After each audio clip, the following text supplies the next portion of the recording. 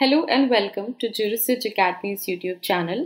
आज के वीडियो में हम बात करने वाले हैं Kaushal Kishor versus state of Uttar Pradesh के जजमेंट की विच इज़ अ फाइव जज बेंच डिसीज़न ये बहुत ही इंपॉर्टेंट केस है अगर आप क्लैट पीजी के लिए प्रिपेयर कर रहे हैं, क्योंकि इस केस में कोर्ट ने आर्टिकल 19 और 21 को इंटरप्रेट किया है particularly in the context of members of parliament and members of legislative assembly. So this makes this case very important and crucial for your CLAT PG 2024 examination because it explores some of the most important constitutional questions and it answers them and we also have a very excellent dissent of Justice Nakaratna. So that is also important to understand. So let's start with this case.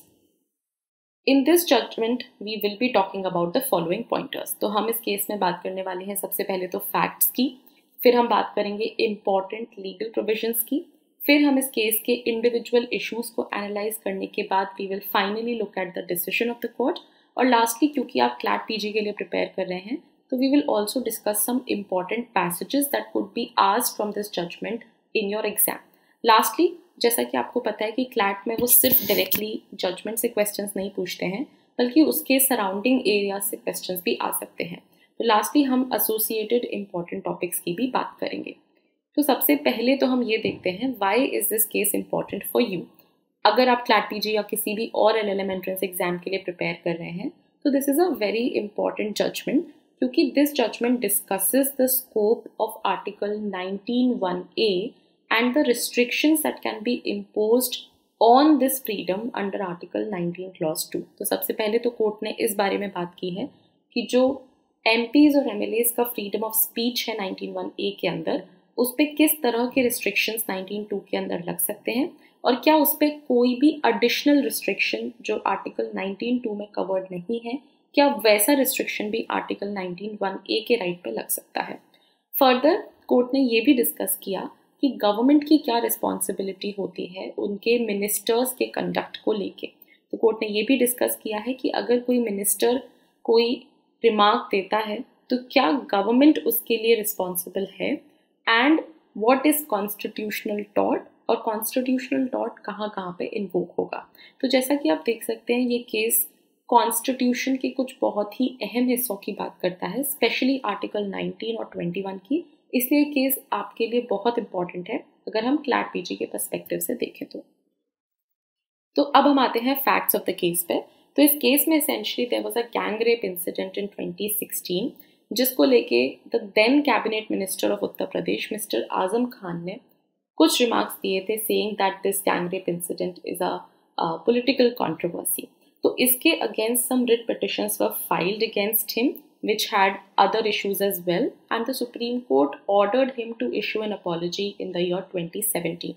But in 2017, court को लगा कि इस case में apart from this very small issue, there are other larger questions with respect to the interpretation of the constitution which have to be referred to a five judge bench. तो उस time in 2017, this matter was referred to a constitution bench for determining the scope of Article 19 in the context of freedom of speech for MPs and MLAs. अब आते हैं main legal provisions पे। तो इस case में court ने article 19, article 21 और article 75 clause 3 और 164 क्लॉज 2 पर काफ़ी डीप डिस्कशन किया है।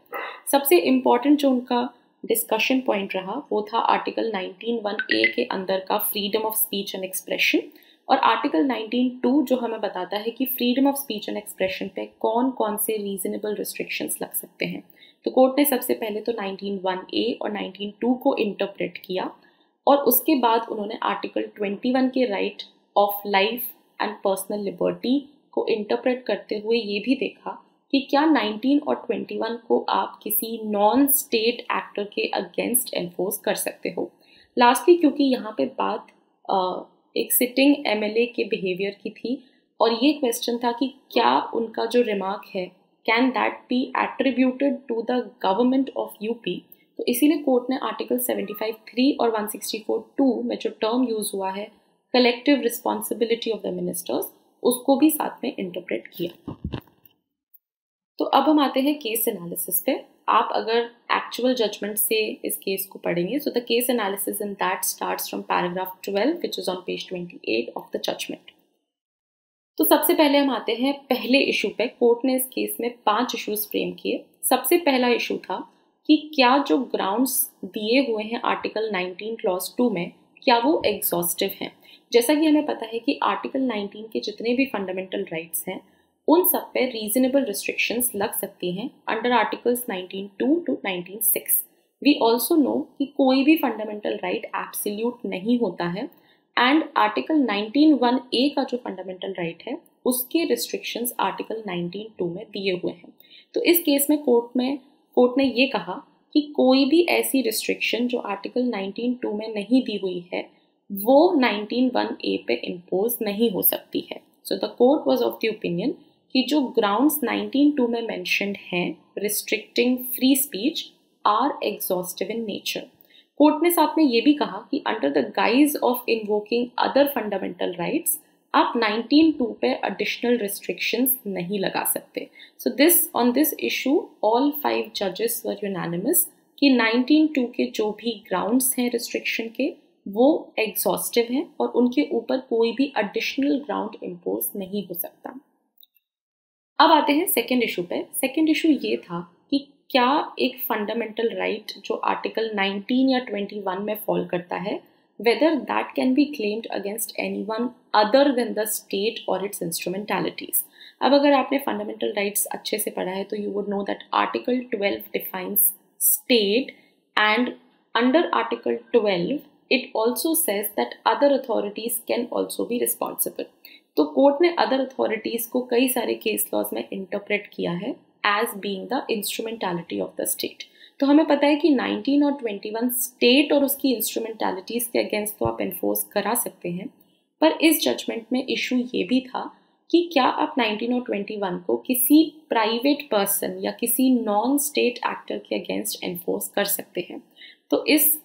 इशू पे there was a dissent of justice Nagarathna बाकी फोर जजेस का मानना था कि the fundamental right under article 19 और 21 can be enforced even against person other than the state or its instrumentality. Justice Nagaratna, on the other hand, dissented with the majority on this issue. अब हम आते हैं third issue पे third issue था कि क्या state की duty है to affirmatively protect the right of citizens under Article 21, even against a threat to the liberty by the act or omission of another citizen or private agency. तो इसमें मुद्दा ये था कि सिंस स्टेट को article 21 के अंदर ये ड्यूटी बाउंड किया गया है that they are the protectors of life and personal liberty but does that mean that they also have to protect its citizens from threats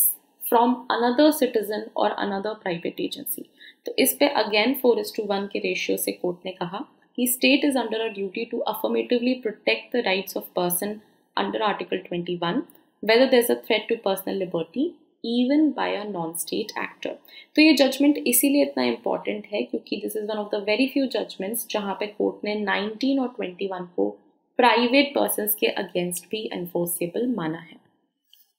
अब आते हैं नेक्स्ट इशू पे। नेक्स्ट इशू ये था कि can a statement made by a minister be attributed vicariously to the government itself specially in light of the concept of collective responsibility अब क्योंकि article seventy five three और one sixty four two बोलते हैं the ministers are collectively responsible to the house of people तो इस case में issue ये था कि क्या अगर किसी मिनिस्टर ने कोई स्टेटमेंट दिया है तो क्या वो हम उसे गवर्नमेंट पे एट्रीब्यूट कर सकते हैं बाय वाइकेरियस लाइबिलिटी तो कोर्ट का मानना था कि generally collective responsibility correlates to the decision and action of the council of ministers and not to every statement made by every individual minister तो कोर्ट का मानना था कि इंडिविजुअल मिनिस्टर